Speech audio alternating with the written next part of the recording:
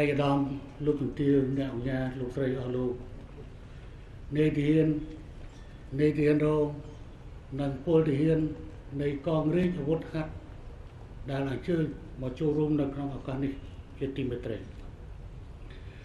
ថ្ងៃនេះខ្ញុំប្រកាសណាខ្ញុំពិតជាមានការរីករាយដែលបានមកចូលរួមដាក់ឲ្យសម្ពោធជាផ្លូវការដាក់ឲ្យប្រើប្រាស់ជាសម្ពោធដាក់ឲ្យប្រើប្រាស់ជាផ្លូវការនៅអាគារធ្វើការរបស់ កងរាជអាវុធហត្ថលើផ្ទៃប្រទេសសង្ឃឹមថាថ្ងៃនេះនេតិហ៊ាននេតិរងនិងពលទានទាំងអស់គឺពិតជាមិនឈររយជាងពេកទេប៉ុន្តែខ្ញុំនៅតែកង្វល់ដោយសារតែយុគមិញនេះប្រហែលជាមានមួយចំនួន គឺមិនសម្រាប់ទេរងចាំការមើលបាល់ទាត់ចុងក្រោយបង្អស់ដែលជាប្រវត្តិសាស្ត្រ នៅក្នុងចំណោមនៃការបាល់ទាត់100%ចាក់ថាបារាំងឈ្នះប៉ុន្តែបែរជាពលរដ្ឋឈ្នះទៅវិញនេះជារឿងដែលមិនគួរឲ្យជឿតទៅសោះប៉ុន្តែបាល់វាមូលគឺដូចនេះឯងសង្ឃឹមថានាយទាននាយទានរងពលទាននៃកងរាជអាវុធហត្ថទាំងបរោះនិងស្ត្រីរបស់យើងគឺមិនមិនមានបញ្ហាឈរនៅទីនេះនោះទេ ខ្ញុំប្រកាសណាខ្ញុំក្នុងនាមរាជរដ្ឋាភិបាលនិងក្នុងនាមខ្ញុំប្រកាសណាខ្ញុំតបសូមថ្លែងអំណរគុណចំពោះការខិតខំកោតសរសើរចំពោះការខិតខំរបស់មេវិជាការមេវិជាការរងនៃកងរាជអាវុធហត្ថមុនឆ្នាំ1970ហើយឥឡូវនេះការធ្វើទីតាំងនេះក៏បង្កើតនៅស្ថានភាពថ្មីមួយ ដើម្បីងាយស្រួលទៅដល់ការបញ្ជាទៅលើកម្លាំងការពារសម្រាប់ធ្នាប់នៅក្នុងក្របខ័ណ្ឌទូទាំងប្រទេសខ្ញុំប្រកាសថាខ្ញុំបានទៅមើលទស្សនកិច្ចអំបញ្ញមិញនេះហើយបានពិនិត្យឃើញអំពីការត្រៀមរៀបចំដ៏ល្អនៅក្នុងទីបញ្ជាការដ្ឋានមួយនេះសង្ឃឹមថានឹងបើកមានការចូលរួមចំណែកថែមទៀត ដើម្បីបំពាក់សម្ភារៈបច្ចេកទេសឲ្យកាន់តែទំនើបនិងទាន់សម័យដើម្បីប្រណិប័តការទាន់ហេតុការណ៍ដែលយើងចង់បានខ្ញុំប្រកាសណាខ្ញុំសូមយកឱកាសនេះដើម្បីថ្លែងជូននៅការអរគុណជាមួយនឹងសប្បុរសជនដែលបានចូលរួមជាមួយនឹងថវិការបស់រាជរដ្ឋាភិបាលដែលបានចំណាយទឹកប្រាក់ទាំងអស់ជាង5លានដុល្លារសហរដ្ឋអាមេរិកសម្រាប់ដំណើរការ នៃការសាងសង់និងបំពាក់នៅសម្ភារៈនៅទីនេះសង្ឃឹមថាប្រិយមិត្តបរទេសនានាក៏នឹងចូលរួមចំណែកថែមទៀតជាពិសេសគឺផ្នែកប្រព័ន្ធបច្ចេកវិទ្យាដែលនឹងអាចធ្វើឲ្យកងរាជអាវុធហត្ថកាន់តែធ្វើទំនើបកម្មនៃសកម្មភាពនៃកងរាជអាវុធហត្ថលើផ្ទៃប្រទេសរបស់យើង ខ្ញុំប្រកាសណាខ្ញុំក៏សូមយកឱកាសនេះអរគុណជាមួយនឹងសប្បុរសជននានានៅក្នុងប្រទេសរបស់យើងដែលបានចូលរួមវិភាគទានដ៏ធំនៅក្នុងការកសាងនៅទីនេះដែលកាត់បន្ថយនៅការលំបាករបស់រាជរដ្ឋាភិបាលបន្ថែមលើនេះដោយឯអាដាមនាយអាដាមសនីសៅសុខាអគ្គវិជាការរងនៃកងយុទ្ធពលខេមរៈភូមិន្ទនិងជាមេវិជាការ នៃកងអរិយវត្តហត្ថលើកទីប្រទេសមិនគ្រាន់តែទីវិជាការនៅទីនេះទេតែខ្ញុំប្រកាសណាខ្ញុំក៏បានសង្កេតឃើញនៅការរីកលូតលាស់ការរៀបចំកន្លែងធ្វើការដ៏មានសម្រាប់ធ្នាប់នៅតាមបណ្ដាខេត្តរាជធានីនៅតាមបណ្ដាស្រុកខណ្ឌនិងទីកន្លែងដទៃទៀតហើយសង្ឃឹមថាកិច្ចការទាំងអស់នេះនឹងបន្តទៅមុខ អ្វីដែលខ្ញុំប្រកាសណាខ្ញុំចង់និយាយនោះនៅត្រង់ថាมันក្រន់ការងារទីកន្លែងធ្វើការល្អគឺម្យ៉ាងហើយក៏ប៉ុន្តែអ្វីដែលសំខាន់ជាងទៀតគឺកិច្ចការល្អនេះជាបញ្ហាសំខាន់របស់ទូ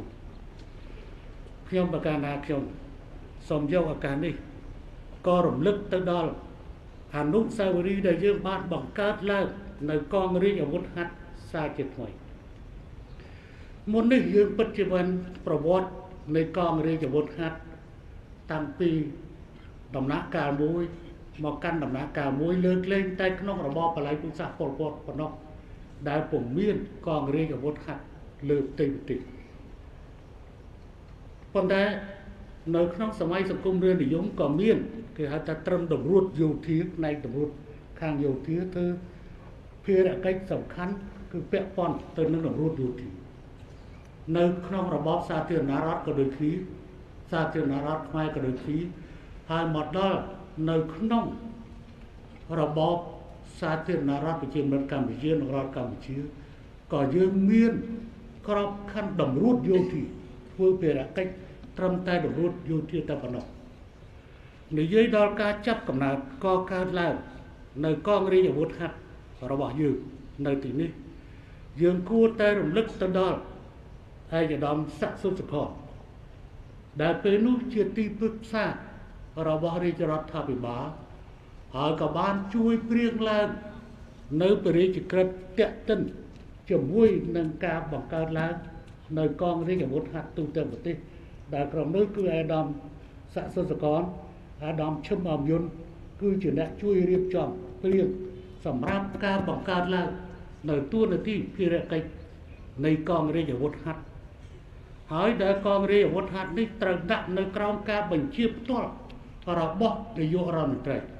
ប៉ុន្តែការពុតគង់ផុសភាតាមរយៈក្រសួងការពិជាតិទៅវិញតាមរយៈការបង្កើតឡើងនៃកងរាជអាវុធហត្ថនេះ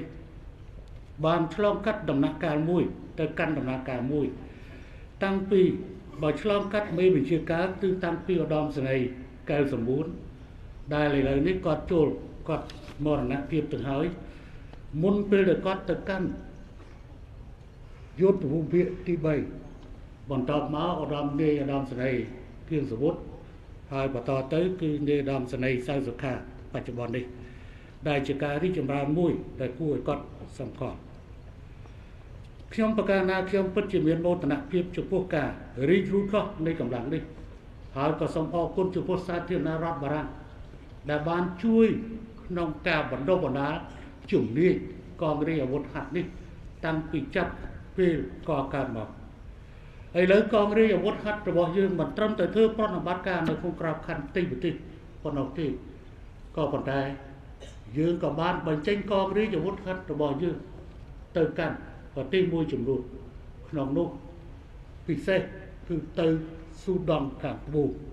ដែលជាប្រទេសមួយស្ថិតនៅក្រៅ ប្រទេសនៅក្នុងស្ថិតនៅប្រតិបត្តិការនៅក្រៅប្រទេសនៃកងរាជអាវុធហត្ថអនុញ្ញាតឲ្យខ្ញុំយកឱកាសនេះជាមួយនឹងការសប្បាយរីករាយថ្ងៃនេះខ្ញុំក៏មានកង្វល់មួយចំនួនផងដែរពិតមែនហើយគេអាចដឹងបានថាជាមួយថ្ងៃនេះគឺជាខួបថ្ងៃស្អែកនេះជាខួប3ឆ្នាំ នៃការបាត់បង់មរណភាពការមរណភាពរបស់ឪពុករបស់ខ្ញុំដែលល្ងាចនេះត្រូវសូត្រមន្តហើយព្រឹកស្អែកធ្វើរាប់អានក៏ប៉ុន្តែអ្វីដែលធំជាងនេះខ្ញុំគួរតែយកនៅវេទិកានេះ ជាមួយនឹងការអបអរសាទរតេតិនជាមួយនឹងការរីកចម្រើននៃកងរាជអាវុធហត្ថលើផ្ទៃប្រទេស ទាំងនៅថ្នាក់ជាតិនិងថ្នាក់ក្រោមជាតិខ្ញុំគួរតែយកពេលនេះដើម្បីសែងផ្លែកនៅបញ្ហាដែលពាក់ព័ន្ធនឹងបញ្ហាសន្តិសុខជាតិរបស់យើងកាលម្សិលមិញនេះមានរឿងអកុសលដែលបានកើតឡើងពាក់ព័ន្ធជាមួយនឹងការបាញ់ប្រហារយ៉ាងខូខើព្រៃផ្សៃពីឃាតករចំពោះលោកបណ្ឌិតកែមលេះនេះគឺជាលើកទី2ហើយ ដែលយើងបានជួបប្រទះនៅស្ថានភាពបែបនេះលើកទី1គឺលោកអុកញ៉ាអឹងមេជីហើយលើកទី2កាលពីម្សិលមិញនេះគឺលោកបណ្ឌិតកែមលីដែលជាអ្នកវិភាគដ៏ល្បីល្បាញមួយរូបខ្ញុំសូមយកឱកាសនេះជាថ្មីម្ដងទៀត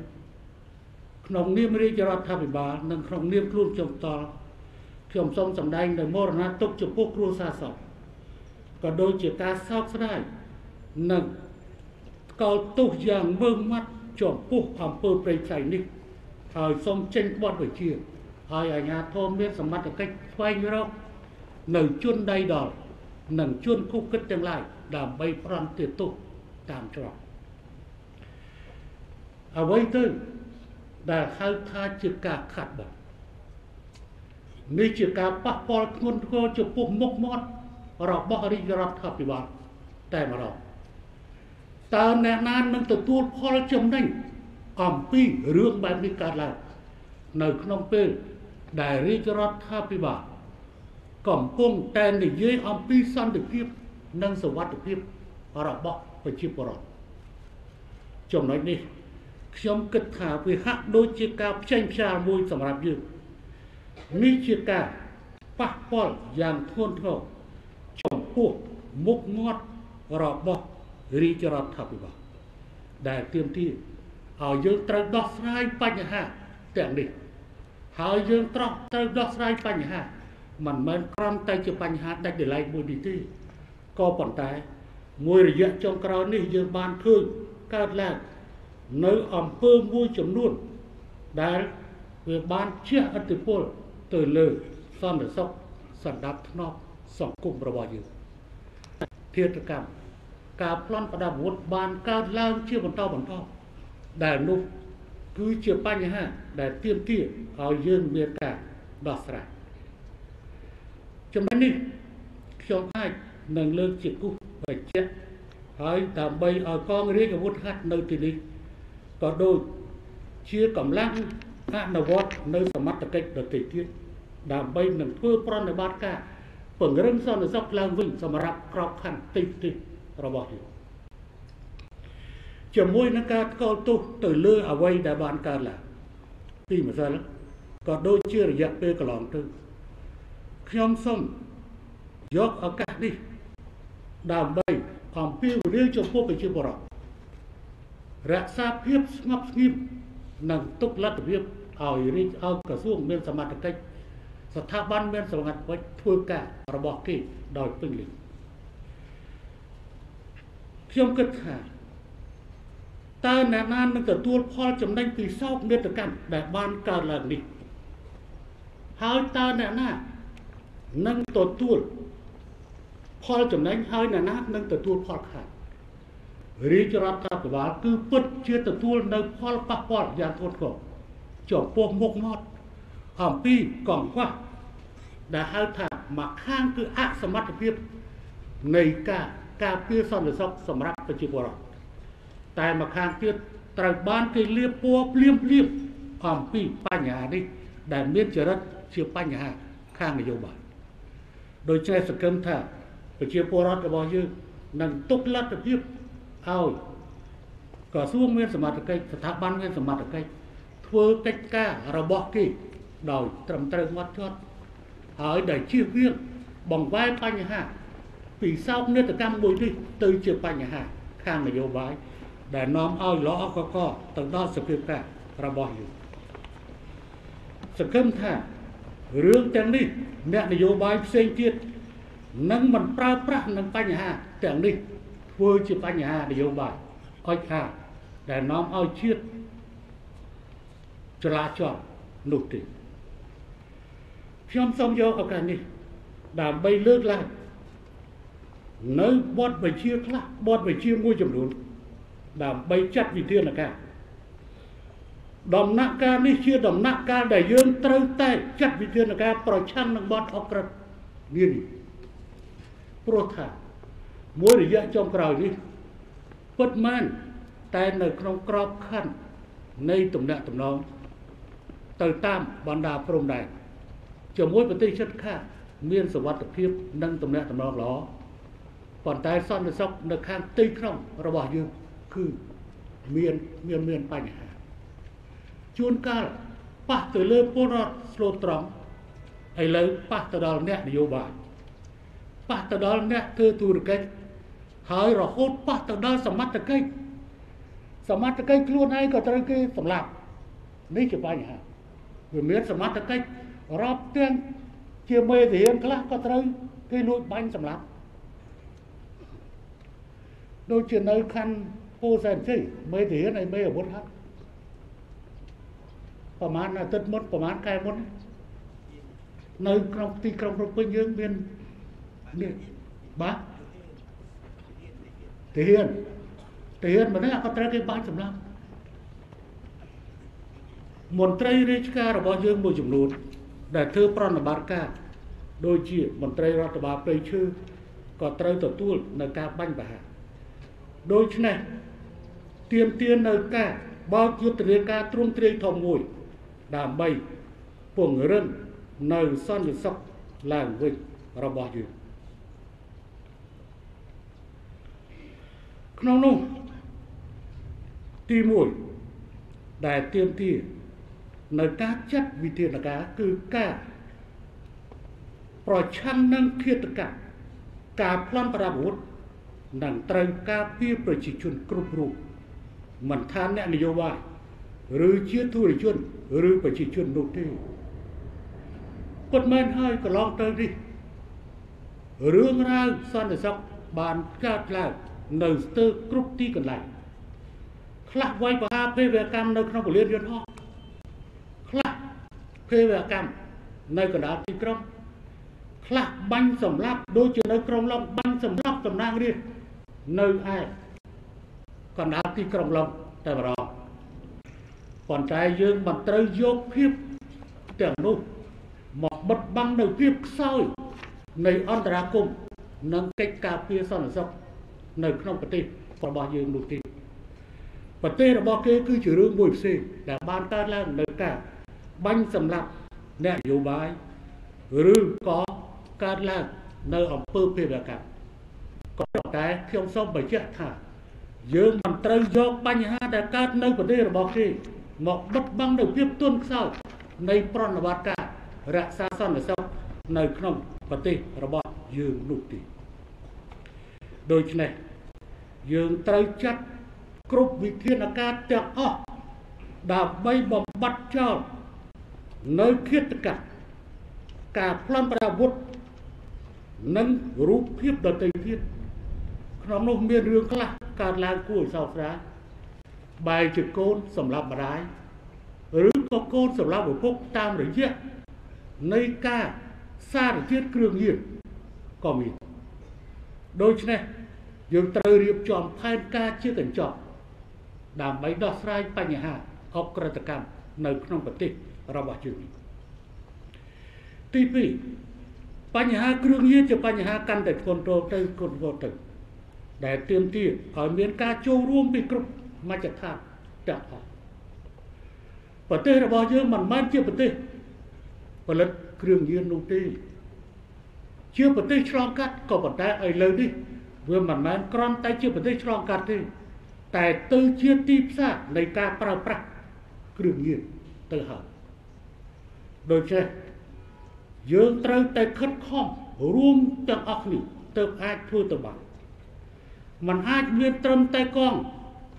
នគរបាលជាតិនិងកងរាជអាវុធហត្ថគ្រប់គ្រាន់នោះទេប៉ុន្តែត្រូវមានការចូលរួមពីគ្រប់តួអង្គពីទាំងអស់ជាពិសេសគឺប្រជាពលរដ្ឋខ្លួនឯងនឹងតែម្ដងនៅពេលដែលខ្ញុំបង្ហោះ Facebook ម្ដងម្ដងប្រជាពលរដ្ឋគាត់បានចូលមក ធ្វើអត្ថាធិប្បាយនៅក្នុង page Facebook របស់ខ្ញុំថាសូមសម្ដេចជួយបង្ក្រាបគ្រឿងញៀនផងព្រោះប្អូនរបស់ខ្ញុំវាបានលួចលួចម្ដាយខ្ញុំទៅទិញគ្រឿងញៀនចំណុចត្រង់នេះយើងត្រូវឃើញថាអ្នកដែលបានលើកសំណូមពរមកខ្ញុំពិតជាត្រឹមត្រូវហើយក៏ប៉ុន្តែជាការល្អបងត្រូវអប់រំប្អូន ទៅជាការត្រឹមត្រូវជាងហើយធ្វើយ៉ាងម៉េចមនុស្សទាំងអស់កុំប្រើប្រាស់គ្រឿងញៀនទៅទៅបញ្ចប់អញ្ចឹងទេអំពាវនាវឲ្យគ្រប់ភាគីពាក់ព័ន្ធជាពិសេសគ្រប់តួអង្គហើយជាពិសេសអ្នកដែលប្រើប្រាស់គ្រឿងញៀនកុំតែប្រើគ្រឿងញៀនទៅអាអ្នកចែកចាយគ្រឿងញៀនក៏វាគ្មានទីផ្សារគ្រឿងញៀននោះដែរដោយសារគ្រឿងញៀននេះហើយវាបង្កើតទៅជាបញ្ហានៃអក្រិតកម្ម មួយបែបផ្សេងទៀតទី3ត្រូវគ្រប់គ្រងអាវុធជាតិទុះឲ្យបានម៉ត់ចត់ហើយខ្ញុំសូមយកឱកាសនេះដើម្បីថ្លែងនៅការកោតសរសើរចំពោះកងរាជអាវុធហត្ថលើផ្ទៃប្រទេសដែលខ្ញុំបានតាមដានដោយផ្ទាល់នៅកិច្ចការងារនេះដែលគ្រប់គ្រងនៅអាវុធនិងជាតិទុះបានម៉ត់ចត់ នៅពេលដែលខ្ញុំបានបពាក់អាវុធមកឲ្យកងរាជអាវុធហត្ថនៅក្នុងដំណាក់កាលនៃការកើតឡើងនៅសភាពការនាយឧត្តមសេរីសៅសកាបានប្រាប់ថាគឺអាវុធនេះតើតែពេលចេញប្រតិបត្តិការបានប្រាប់គឺมันអាចផ្ដល់នៅពេលដែលគ្មានប្រតិបត្តិការទេដូច្នេះត្រូវគ្រប់គ្រងអាវុធជាតិទុះឲ្យបានម៉ត់ចត់ទាំងនៅតាមអង្គភាពនិងនៅតាមឃ្លាំងនេះប៉ុន្តែ យើងក៏ត្រូវរកវិធីដើម្បីកុំឲ្យអាវុធអាចធ្វើចរាចរណ៍ឆ្លងកាត់ទៅក្នុងប្រទេសយើងបាននៅក្នុងប្រទេសយើងបានជាងទេត្រូវតែខិតខំស្វែងរក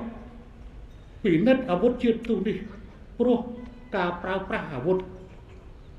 ដើម្បីនឹងបំផ្លាញជីវិតមនុស្សឬក៏ជាតិទុកដើម្បីបំផ្លាញជីវិតមនុស្សគឺជារឿងមួយដែលធ្លាប់បានកើតប៉ុន្មានខែរួចមកហើយ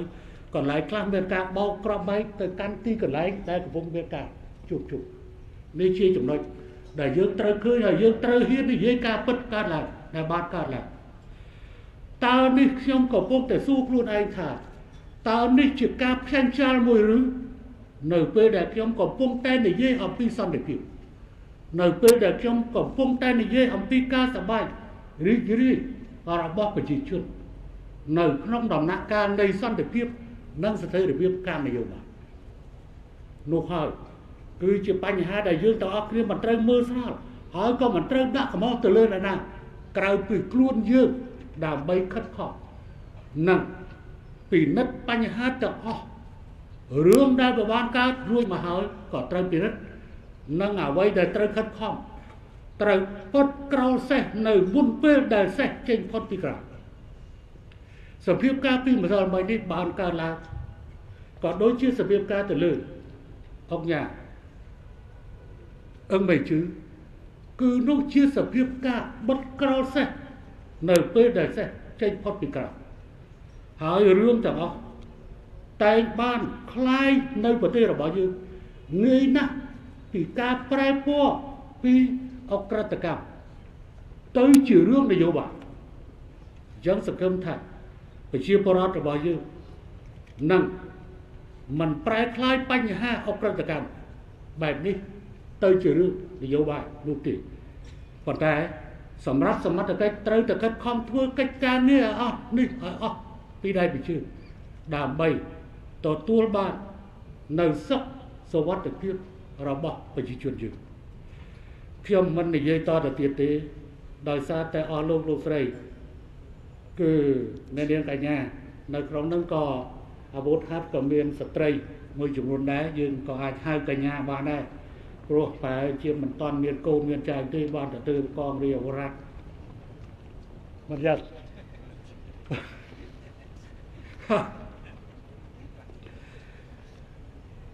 ខ្ញុំជាថ្មីម្ដងទៀតអបអសាទរជាមួយនឹងការរីកលឺផ្លោះ នៃកម្លាំងកងរាជអាវុធហត្ថលើផ្ទៃប្រទេសដែលមានអាយុកាល23ឆ្នាំអាចចាត់ទុកថា គឺជាកំឡោះឬជាក្រមុំដ៏ស្រស់ស្អាតប៉ុន្តែសង្ឃឹមថាកំឡោះក្រមុំដ៏ស្រស់ស្អាតនេះមិនមែនមានតែក្នុងកម្ពស់ស្មើស្មើគ្នានឹងហាត់រំញីកែជើងដល់ល្អនោះទេសង្ឃឹមថា ប្រណិបត្តិការរក្សាសន្តិសុខសម្រាប់ធ្នប់ហើយក៏ត្រូវបានទទួលនៅបទបញ្ជាពីរាជរដ្ឋាភិបាលហើយដឹកនាំមេវិជាការរបស់ខ្លួនដឹកនាំប្រណិបត្តិការបង្ក្រាបនៅអក្រិតកម្មប្រៃឈ្មោះហើយដែលអំបញ្ញមិញនេះឃើញទីវិជាការគឺមានកំណត់បង្ហាញតេតិនជាមួយនឹងសកម្មភាពថាគណៈកម្មការបានមកអង្គុយនៅកន្លែងហ្នឹងដើម្បីត្រួតពិនិត្យ អំពីបញ្ហាប្រតិបត្តិការក្នុងការបង្ក្រាបវត្តវិព្រៃឈឺសង្ឃឹមថាកងរាជអាវុធហត្ថដែលមានវត្តមាននៅទីនេះក្តីនិងកងរាជអាវុធហត្ថនៅទូទាំងប្រទេសក្តីសហការជាមួយស្ថាប័នពាក់ព័ន្ធស្របតាមទួលនីតិភារកិច្ចរបស់ខ្លួនដែលកងរាជអាវុធហត្ថរបស់យើងមានភារកិច្ច3សំខាន់ទី1ភារកិច្ចជាតម្រួតយោធាដែល មានចែងនៅក្នុងអនុក្រឹត្យហើយទី2ផ្នែកសម្ដាប់ធ្នាប់សាធារណៈដែលជាកងជំនួយឲ្យនគរបាលជាតិរបស់យើងនិងទី3ដើរតួនាទីជានគរបាលយុតិធម៌ដើម្បីបំរើទៅឲ្យផ្នែកតុលាការអរគុណនិងកោតសរសើរចំពោះការខិតខំទាំងអស់ ហើយអរគុណជាមួយសប្បុរសជនដែលបានប្រឹងប្រែងកសាងឡើងជួយឧបត្ថម្ភដើម្បីកសាងនៅទីវិជាការដ៏សើមថ្ងៃនេះជាមួយនឹងអាគារប្រណិបត្តិការផ្សេងទៀតសម្រាប់ដាក់កម្លាំងអន្តរាគមន៍អរគុណចំពោះប្រិយមិត្តបរទេសដែលបានចូលរួមចំណែកនៅក្នុងការកសាងកងរាជអាវុធហត្ថនិងជួយដល់កងរាជអាវុធហត្ថរបស់កម្ពុជា ក្នុងនោះអរគុណដែលអាដាមរដ្ឋមន្ត្រីក្រសួងសន្តិសុខរដ្ឋនៃសាធារណរដ្ឋប្រជាមានិតចិនក៏បានអញ្ជើញមកចូលរួមនេះមកក្រោយដែលបានមកចូលរួមល្ងាចស្អែកយើងនឹងមានឱកាសនៃការជួបគ្នាសារជា3ប្រទៀតនៅក្នុងពេលវេលាមួយប៉ុន្តែសូមថាថ្ងៃស្អែកនេះគឺជាថ្ងៃមរណភាពរបស់ឪពុកខ្ញុំគូ3ឆ្នាំ ព្រឹកខ្ញុំរាវបានសិននិយាយបាទខ្ញុំមានឱកាសជួបខ្ញុំសូមមេត្តាយោគយល់ថាម៉េចក៏មិនទទួលព្រឹកស្អែកព្រឹកស្អែកខ្ញុំមិនអាចចោលបានទេដោយសារតែខ្ញុំមានទុករបស់ខ្លួនខ្ញុំដែរតែខ្ញុំមិនអាចណែទទួលនៅក្នុងពេលព្រឹកបើមិនអញ្ចឹងគឺយើងចោលឪពុករបស់យើងយើងមានឪពុកតែមួយហើយយើងខំធ្វើបុណ្យជូនឧទ្ទិសកុសលសម្រាប់ពួកគាត់ផងដែរហើយចុងបញ្ចប់ ជាមួយនឹងការអបអសាទរខួបលើកទី23ឆ្នាំនៃការបង្កើតកងរាជអាវុធរដ្ឋសាជាថ្មីជាមួយនឹងការអបអសាទរជាមួយនឹងការរីកលូតលាស់នៃកម្លាំងកងរាជអាវុធហត្ថលើកទីប្រទេសដែលមានតាំងពីប្រមាណ100នាក់រហូតទៅដល់10000នាក់